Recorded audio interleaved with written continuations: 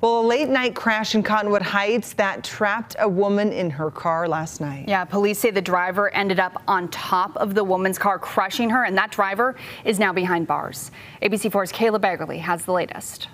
Police described this as a major crash, saying that a truck landed on top of that woman's vehicle, crushing it and making it difficult to get her out. Today, following the crash, you'll see a broken fence and glass on the ground. Neighbors say it sounded like a bomb went off. It happened off of southbound I-215 and Highland Drive a little before 9 last night.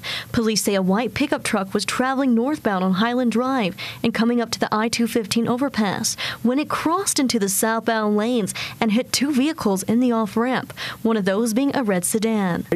Truck came to rest on top of the red vehicle, trapping the driver inside.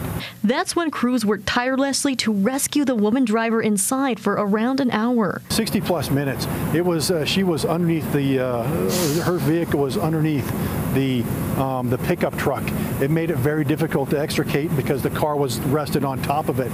They spent 60 minutes cutting small pieces off until they were able to get her out of the vehicle. The driver of the truck had a minor cut on his face and is cooperating with the investigation. He was booked on multiple charges, including negligently operating a vehicle resulting in serious bodily injury and possession of a controlled substance. Those in the other vehicle hit drove themselves to the hospital. We met with Colin Jeffries, who is a part of the Unified Fire Authority's Heavy Rescue Program, which responded to this crash and worked to get the woman out.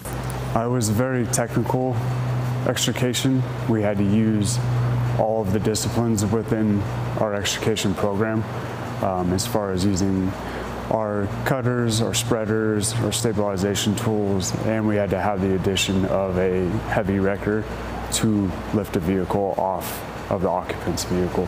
He showed us the tools they use to perform these operations.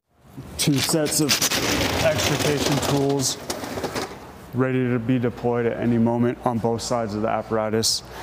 We have spreaders, cutters, we have rams where we can push vehicles apart. Primary struts.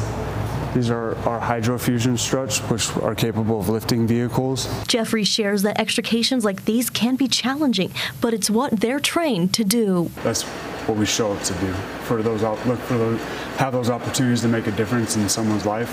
Um, that's that's why we're all here, and last night was just another one of those opportunities. This is still under investigation and we'll keep you updated both on air and online at abc4.com. Reporting from Cottonwood Heights, Kayla Baggerly, ABC4 News.